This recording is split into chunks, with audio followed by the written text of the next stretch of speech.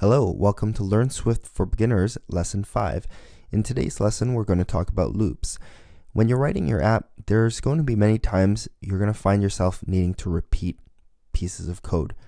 For instance, let's say you're showing five things in your app and you need to turn each of them red. So a loop is going to allow you to just write that single line of code to turn something red and you can repeat it five times for each of those five objects and that's going to save you from having to uh, write out that code five times. So that's a very simplified example, but trust me, you're going to use them a lot. So let's take a look at how to use them. So there are three types of loops we're going to cover today. We're going to start with the for in loop as you can see in the Swift programming guide here. So let's go ahead and start a new playground in our Xcode. And I'm just going to call this the loop playground and save it on my desktop.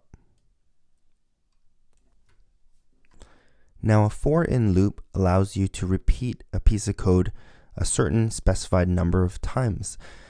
If you have a list of data, otherwise known as an array, which you're going to learn about in an upcoming lesson, you can also use a for in loop to go through each of those pieces of data in that array and execute some sort of code on it. So this is perfect for the example we mentioned in the intro about having five objects or five items on the screen and you need to turn each of them red, for example.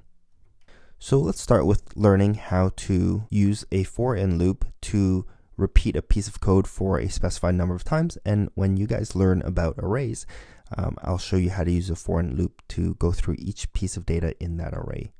So as you can see, true to its name, the keywords to use here are for and in. So you start with the keyword for, and next you have a variable name. Now you don't have to declare this variable using the var keyword like you've learned in the previous lessons. You can simply have a name for this variable because you're only going to refer to this variable within the for in loop. This variable that you specify here is going to keep track of which iteration of the loop is currently running. Next up, you have the keyword in, and then you have the lower range, followed by dot dot dot, and then the upper range. And that last part there, after the in keyword, is the range which your for loop is going to run in and it's inclusive of those numbers. So for example, if you have 1 dot dot dot 5, it's actually going to run 5 times. And then after that, you open a set of curly brackets. And inside the set of curly brackets, that's where you're going to put the code that you want to repeat for that number of times. So let's jump back to the playground and let's do a quick demo on that for in loop.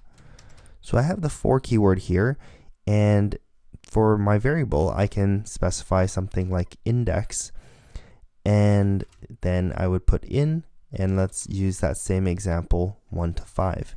And then I open up a set of curly brackets, and then here I'm simply going to print hello. And we're going to see this in the console down here. It is printed it five times.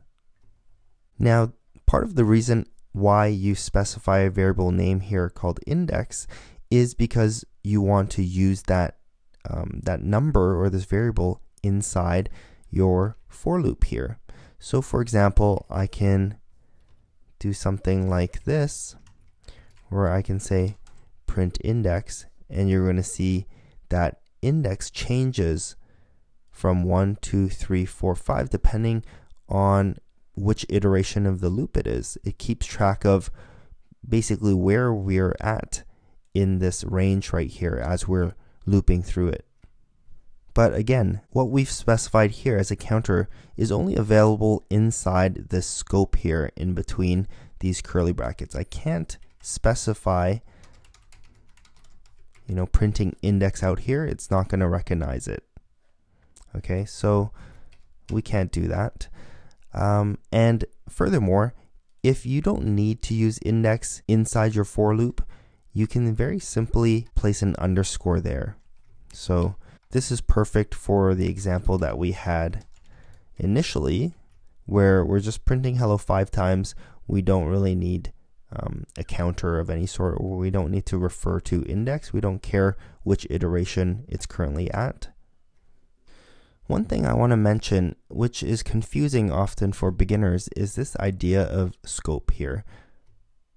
For example, if I wanted to sum up the numbers from 1 to 5, and I wanted to print out the result after the for loop, um, let's say I declare a variable up here and I call it sum, and I equate it to 0, and then I say something like sum plus equals, and actually let's add this index variable back here, and I go like this. Now you haven't seen this plus equals um, sign yet, but this operator basically um, equates to something like this. It takes sum and it adds the index. So this is equivalent to writing this. It's just kind of like a short form. Okay, so first of all, if I declare this variable called sum inside my for loop, inside these curly brackets, well, this variable is only available within that scope, within these two curly brackets. I can't go out here outside of the for loop after it's run five times and print out the result of sum. See, you can see that it can't find this variable, even though I've declared it in here. Okay, so why don't we move this print statement into the for loop? What would you expect to happen in this case? Well, we get 1, 2, 3, 4, 5 again. And why is it that this sum isn't increasing? Why isn't it continually adding index to it? And, you know, why aren't I getting the sum of the numbers from 1 to 5 by the last iteration of the loop? Well, what's happening is that um, in the first iteration of the loop, we're declaring sum equals to 0, and then we're adding index to sum, which is 1, and then we're printing sum. So that's why we get 1 down here. In the second iteration of the loop, what we're doing is we're declaring sum again, we're setting it to 0, and we are adding um, this time the index is 2 and we're adding 2 to 0 right and then it's going to print 2 so that's why you can see the output 2 right there. Well right now you might point out to me hey Chris I thought you said that you can't redeclare the same variable.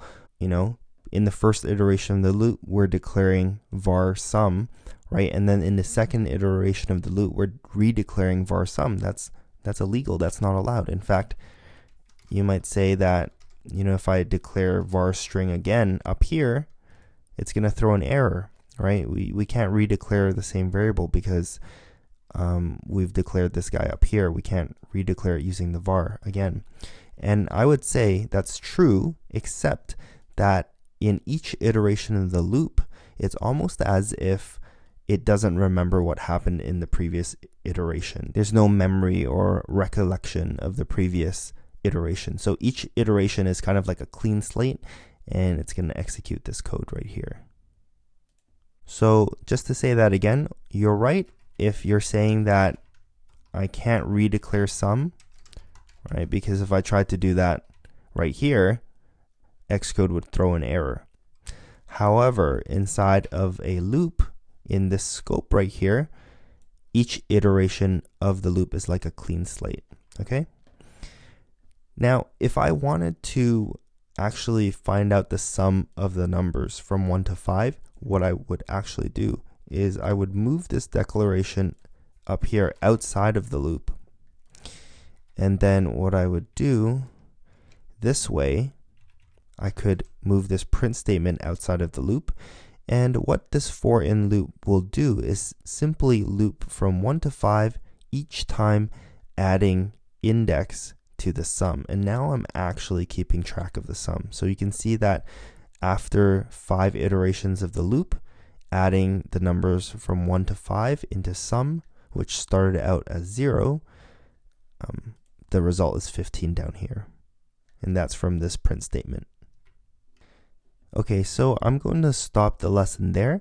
While the syntax for the for in loop is actually pretty simple and, and the concept of repeating a piece of code for a certain number of time is pretty simple. I want to give you some breathing room to digest what we talked about uh, in regards to the variable scope. So I would recommend that you try declaring and creating this loop on your own computer. Um, try declaring the variables inside the loop and outside the loop and see where you can access them and use them and where you cannot. Um, it's really going to help and aid you in your learning.